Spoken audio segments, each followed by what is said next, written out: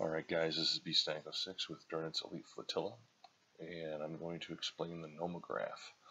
The nomograph is this little thing right here. You've probably seen it on some of the other mods. Sometimes it's laying horizontal across the bottom of the navigation screen, but uh, this one's a tool that comes with NYGM, and uh, I'll just explain it really quick. It's a calculator of sorts.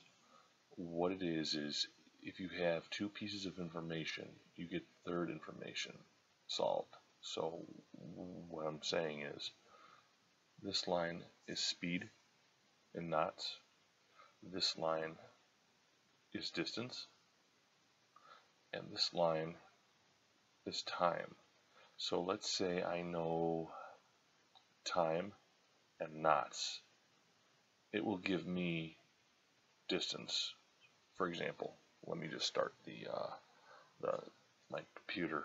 Let's say I am watching a ship for 10 minutes, okay, or 10 seconds. I believe this is uh, yeah 10 minutes, and I am I know the ship's trailing at 20 knots. Let's let's see what happens.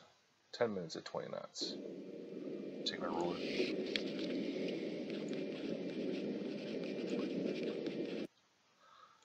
Right there you see about five about six kilometers is how fast the ship is moving okay? Or if I want to know how many knots it's going I need to know distance and time okay? Or if I know knots and distance I get time. You have to have two pieces of the information to get a third one. Those that's pretty much how it works. Pretty simple